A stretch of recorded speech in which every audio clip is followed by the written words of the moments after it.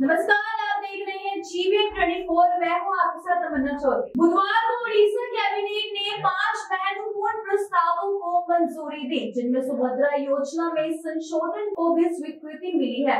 बाईस अगस्त दो हज़ार चौबीस को उड़ीसा राज्य कैबिनेट ने सुभद्रा योजना जो महिलाओं को आर्थिक रूप से सशक्त करने और उनके परिवारों के लिए सुरक्षा जाल प्रदान करने के लिए प्रमुख योजना है। उसको मंजूरी दी थी। इस योजना के लिए पाँच साल की अवधि के लिए पचपन हज़ार आठ सौ पच्चीस करोड़ रुपए का बजट आवंटन किया गया।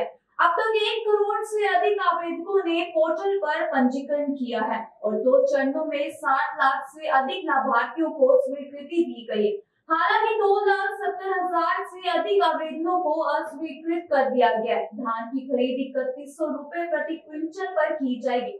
जिसे कैबिनेट ने मंजूरी दी है, राज्य में चार हज़ार धान खरीद केंद्र खोले जाएँगे और प्रत्येक बाज़ार में एक कार्यालय होगा। किसान को अड़तालीस घंटे के भीतर पैसे मिल जाएँगे।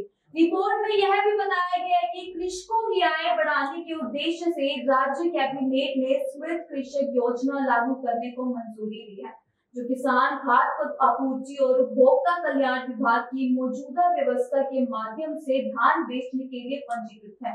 उन्हें समृद्ध कृषक योजना के अंतर्गत इनपुट सहायता और न्यूनतम समर्थन मूल्य के साथ इकतीस सौ रूपए प्रति क्विंटल का भुगतान किया जाएगा। जो धान, बीज उत्पादक ओडिशा राज्य बीज और जैविक उत्पाद प्रमाण एजेंसी के तहत पंजीकृत है और ओडिशा राज्य बीज निगम लिमिटेड के माध्यम से धान के बीज बेचते हैं।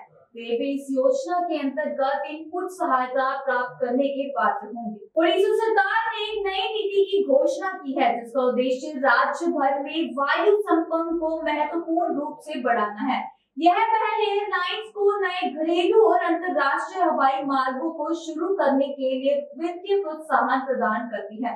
जो बीजू पटनायक, अंतरराष्ट्रीय हवाई अड्डा, वीर सुरेंद्र साई हवाई अड्डा और छोटे हवाई अड्डों जैसे जयपुर राय केला और उत्केला को सेवा प्रदान करे। फ़िलहाल इस खबर में इतना ही। देश और दुनिया की तमाम खबर जानने के लिए जुड़े रहिए हमारे साथ जीवन ट्वेंटी फोर पर।